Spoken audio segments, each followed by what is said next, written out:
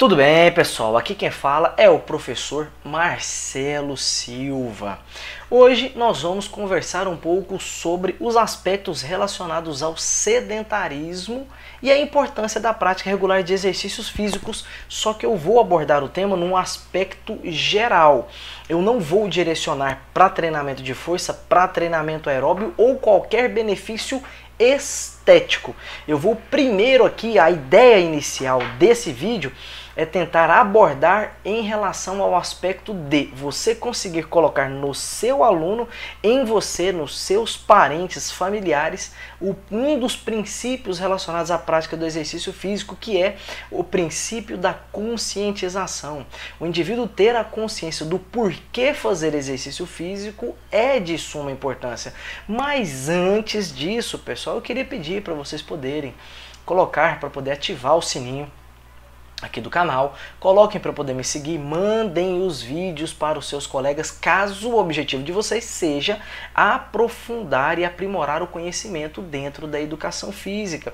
E peço também para dar uma olhadinha aqui com atenção, ó, vem aqui no meu Instagram, clica aqui e aqui ó, tem acesso de vocês ao meu portfólio relacionado aos meus cursos, ao que eu faço, a minha formação.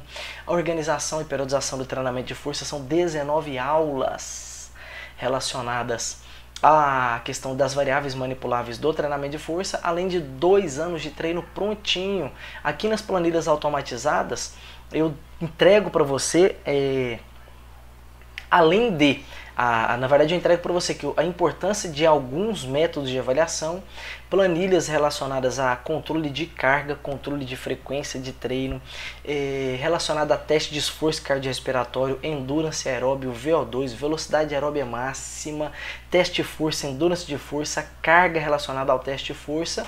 E parte dessa planilha aqui, ó, automatizada está bem apresentada no meu vídeo de HIT anteriormente aqui disponível. Então, sem mais delongas, vem comigo. Sedentarismo, o que trazes para mim? Então, o primeiro ponto, quando eu falei anteriormente, era a conscientização, mostrar para o indivíduo a real importância da prática regular de exercício físico. E dentro dessa importância, dessa real importância, o aspecto estético ele não está na importância. Contudo, ele não precisa necessariamente ou ele não é um objetivo menos importante. Ele só não é o principal motivo. Então, vamos lá. O que o sedentarismo me traz de pontos, né? Olha só.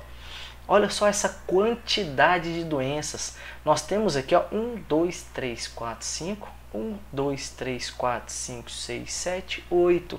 Temos 40 doenças crônicas não transmissíveis. Isso serve, pessoal, inclusive para você quando for fazer uma reunião de apresentação dos, da proposta de treinamento personalizado. Porque ao apresentar o que é que o sedentarismo, que aquele comportamento muitas vezes do seu aluno traz para ele, você pode apresentar isso aqui e isso com total respaldo científico. Isso com, com total é, é, tecnicidade, porque nós somos profissionais da área da saúde. Então nós devemos utilizar da ciência para poder apresentar o prejuízo da não prática de exercício físico, somado daqui a pouco aos benefícios da condução de um bom protocolo de treino tá? Então dentro disso, olha só, temos aqui doença cardíaca, infarto, hipertensão, AVC, insuficiência, disfunção, aterosclerose, arteriosclerose, doença arterial periférica, todas essas primeiras aqui de cunho de cunho cardiovascular. Aí tem trombose, sarcopenia, tá? Temos também a perda de força relacionada à terceira idade, não só a perda de massa muscular, fibromialgia, atrofia muscular por desuso, aqui já não tem relação apenas com a terceira idade, mas ao desuso, por exemplo, o indivíduo ficou com alguma limitação, um pós-cirúrgico, fratura óssea, luxação, o indivíduo deixa de usar determinado segmento do corpo e pode ocorrer aí a atrofia, na verdade, artrite, lombalgia, obesidade e as doenças que ela traz consigo, tá? Temos resistência à insulina, diabetes tipo 2, síndrome metabólica, asma, câncer, câncer, câncer, câncer de novo, bronquite, depressão, ansiedade, pré-eclâmpsia, o diabetes gestacional, tá? disfunção erétil, constipação, diverticulite, osteoartrite, osteoporose, hipercolesterolemia, enfisema pulmonar, insuficiência renal, demência e distúrbios do sono. Gente, não significa que você ser sedentário, tudo isso vai te acometer. Contudo, o sedentarismo é uma porta de entrada para todas essas doenças. Até mesmo porque normalmente um indivíduo sedentário e com a má é, alimentação, alimentação inadequada, ele pode desenvolver obesidade.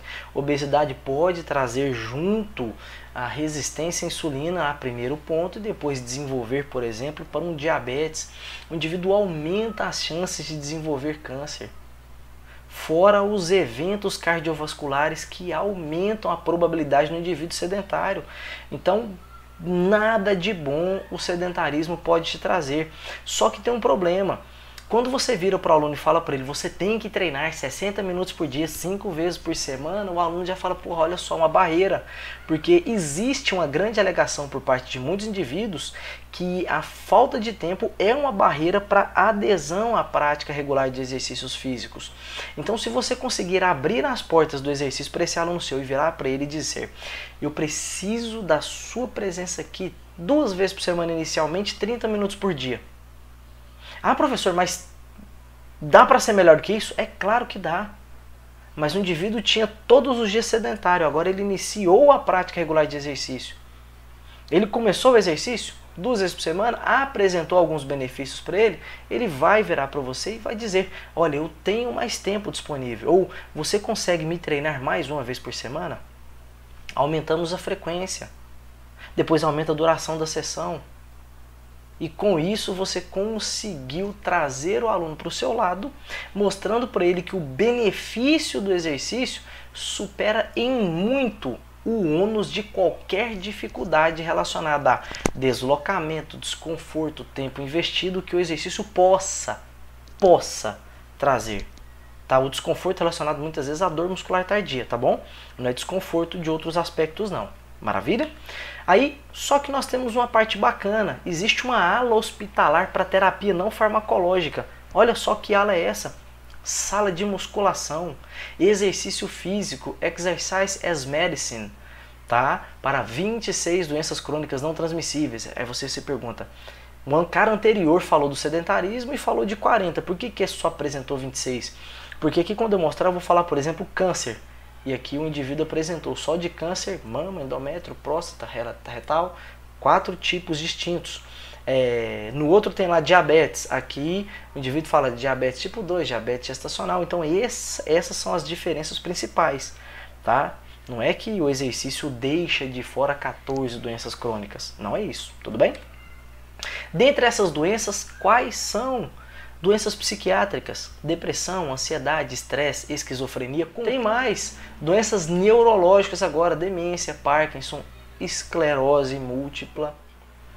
Doenças metabólicas, olha aqui, obesidade, excesso ou hiperlipidemia, síndrome metabólica, síndrome de ovário policístico diabetes tipo 1 e 2. Aí você fala, professor, é possível que um indivíduo insulino dependente reduza a dosagem de insulina ou até mesmo pare de tomar alguns dias? É possível. Contudo, é necessário que o indivíduo pratique exercícios físicos regulares e, evidentemente, que a retomada do comportamento sedentário também pode sim implicar na retomada da dosagem anterior de insulina tá? Então tudo isso quem vai fazer é uma boa comunicação entre o profissional de educação física, no caso nós, e o profissional que realizou, o profissional da medicina que realizou, por exemplo, a intervenção farmacológica com a insulina. Doenças cardiovasculares, temos apoplexia, hipertensão, doença coronariana, insuficiência, arritmia cardíaca, que é claudicação intermitente. Tá? Olha só o tanto de prejuízo que o exercício físico pode atenuar ou reduz ainda a probabilidade de que o indivíduo desenvolva. tá? Doenças pulmonares, DPOC, que é a doença pulmonar obstrutiva crônica, tem a asma, tem fibrose cística. Em relação à parte músculo esquelética, osteoartrite, osteoporose, especialmente e mais acelerada em indivíduos de terceira idade. Dores nas costas, a pergunta é quem é que nunca sentiu dores nas costas? Artrite reumatoide, câncer, pessoal. Então, dentro desse aspecto, fica aqui a pergunta: temos vários benefícios inerentes à prática regular de exercícios físicos? Com toda certeza do mundo. E segundo, o sedentarismo me traz muito mais prejuízo do que benefício? Com toda certeza também. Mas aí vem o profissional de educação física não pode usar daquela máxima de se mova, qualquer coisa é melhor do que nada. Não é bem assim que a banda toca, tá?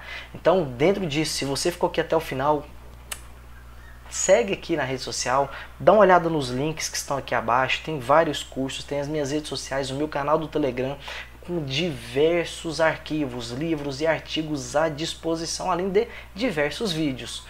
Sendo assim, um forte abraço e fica com Deus.